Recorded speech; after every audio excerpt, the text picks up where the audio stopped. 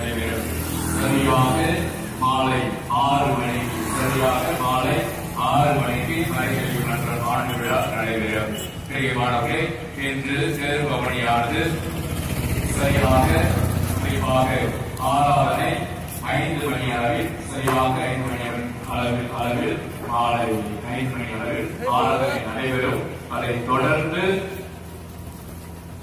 நடைபெறும். அதை தொடர்ந்து தேர் நடைபெறும் அதாவது ஐந்து மணிக்கு கரெக்டாக சரியாக நீங்கள்